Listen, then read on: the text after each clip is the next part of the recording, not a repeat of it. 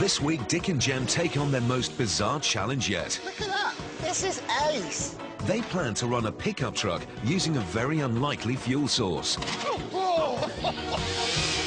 They've teamed up with a band of environmentalists who are trying to cut inner city air pollution. Look at the hydrocarbons. Wow. But will they see the wood through the trees? Or simply get lost in the urban jungle? There's nothing under that. Dick Strawbridge is an ex-army officer turned eco-warrior. Jem Stansfield is an inventor with a wild green streak. Two men on a mission to fix the world. One mechanical solution at a time. Oh. Together, they are the Planet Mechanics.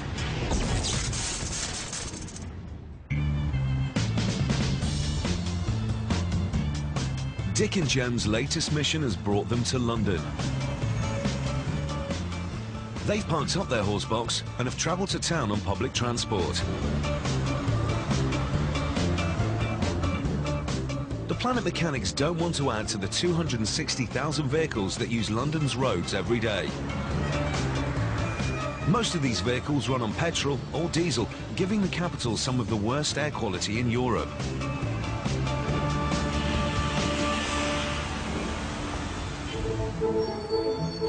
But this group of people are determined to fight back. They're tackling pollution by planting trees. Trees for Cities is a charity that aims to plant 1 million trees in time for the London Olympics in 2012. The reason is simple. Trees literally eat pollution. They absorb the major greenhouse gas CO2 and concentrate it into carbon which is stored in roots, trunks and branches. But the operation depends on vehicles that run on fossil fuels. And now Chief Executive Graham Simmons wants to green up the motor pool. He's looking for a vehicle that truly represents the charity, something that instantly says, trees for cities. And that's where the Planet Mechanics come in. Graham. Yes. Graham, good to see you. Yes. Lovely, good to see you. Lovely to meet you, Dick. Lovely to meet you, Jem. What can we do for you? Well, we have a problem in that we are transporting lots of stuff around cities, trees and that, and we um, don't have a very green fleet. You know, we've got these diesel-powered trucks. Okay, and you want a green transport fleet that is in keeping with Trees for City. Absolutely. How long have we got? Well, we've got a big event in Tower Hamlets Cemetery in about a week's time. A week. Is that yeah, doable? we can do Is that. that doable? One week. Fantastic. Okay. Okay, bye-bye. See you in a week. Yeah, bye. One week. Wood is waste.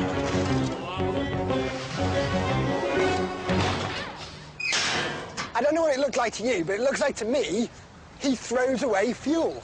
Yeah, wood. I was exactly the same thing. Wood is a really good fuel. So how are we going to use it? That's a big question. Oh, I used to work with a guy who built his own steam lorry. Steam. It's grubby, it's dirty, and it's not very efficient. Are we going to actually have big clouds of smoke coming out of vehicles around London and say we're being greener? But it works. It does actually work. Here's one. Try this for size. I saw a picture years ago of a vehicle that turned wood into gas, and it used the gas to run the actual vehicle. They had no oil in the Second World War. They were using things like this. Cracking idea. You, it, no, Dick, it sounds nothing but genius, but you saw a picture of it, whereas I've seen one that actually works, Yeah. and it might be a little bit grubby, but it does work. Sense of adventure, mate. All right, we don't actually know what we're doing. A little bit of detail. What you have to do, you have to trust me in this one, Jem. We can definitely... Dick, I oh, do. What? Honestly. I trust you, but we have... For the next seven days, the Planet Mechanics will be based at this community farm on the edge of London. Dick's all worked up about building a car that runs on wood, but his first job is to fire up a very doubtful Jem. You're saying that we should heat the wood, drive flammable gas off the wood, and then use that to run the car. Yeah, no, it's, very, it's a very simple principle. Match. We've got matches. Hold on. If you actually have a look at this. Now look at that. If I just hold that there, right? When you see, So the clear bit at the bottom, beneath the yellow flame, we're suggesting is the gas coming off the wood, and then it's igniting, and then you get your little sooty flame above it. the yellow one is the incomplete combustion, isn't it? Won't burn himself there. So we've got to catch that flammable gas, and then take that into the engine instead of petrol. Yeah. No, it's good, it's good, it's good, good. We want to have something that we put wood in, Yeah. yeah, and when we heat it up, out of that comes gas. Yes. That gas that's coming out, it's going to be very dirty, it'll have lumps in it. First things first, we need to clean it. What we have to do is put in a, a filter. Yeah. Okay?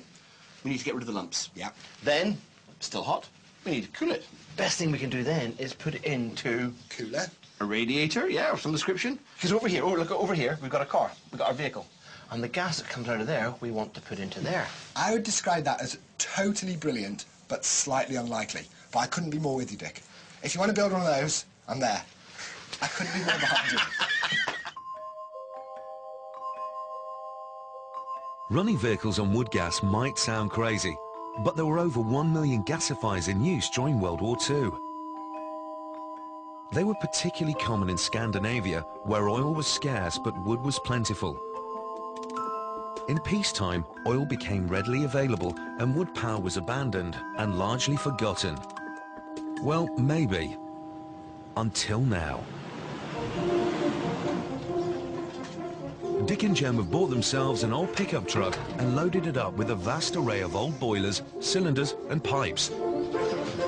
Somehow, they've got to turn all this into a vehicle fueled only by the combustion of waste wood. To do this in a clean, green way, they're building a gasifier. Incredibly, their system should convert the wood fire's smoke and fumes into a pure flammable gas that can power a standard car engine.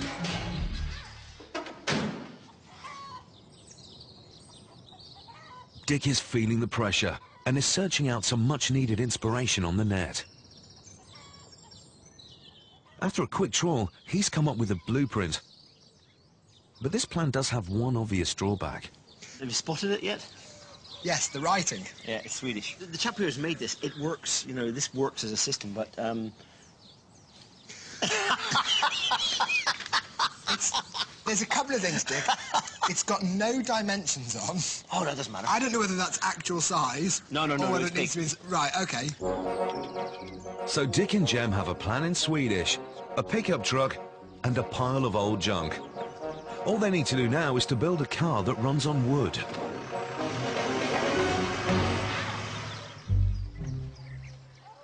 The Planet Mechanics have less than six days to make a wood gas pickup. And one half of the team is still in the dark. Jim? Yep. I don't think you're overly convinced that we could get gas from wood, mate. I think it's brilliant. It just seems a little bit unlikely. But it's not that difficult. Look, here, what's this? It's a little cooking gas stove, a kettle full of wood. Oh, Yeah. OK. That's it. If this works, Dick, I'm kind of halfway to believing the car might work. what happens next? We wait for it to heat up and then gas will come off it. And then you will be able to light it. What's pointing at you. Is this going to be the same with the car, though? You have to, like, start it a day before you want to drive anywhere. With a bit of luck, we might get a bit more heat than we're managing here. Right. I reckon we're nearly ready to try lighting that. Yeah? Hey, look at that! That's properly amazing. I'm a complete convert to wood gas now. Okay. That's a thing of beauty. No, Dick, this is what we want. Convinced? I'm totally convinced now. All we have to do is scale it up and run the car on it. A kettle scaler. I've heard of them.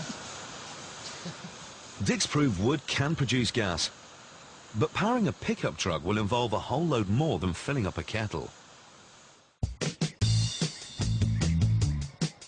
Day two and Dick and Jem are keen to get building. Trees for Cities are expecting the delivery of a green running machine for their big planting day at the weekend. First of all, they'll need to make the producer, a cylinder in which wood burns to produce the gas.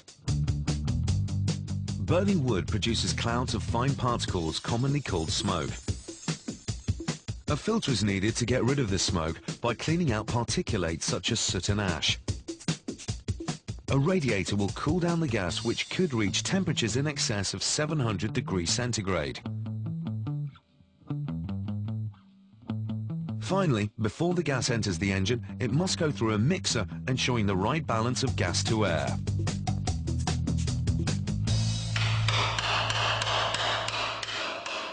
This job is going to be a masterclass in recycling. This old water heater is being given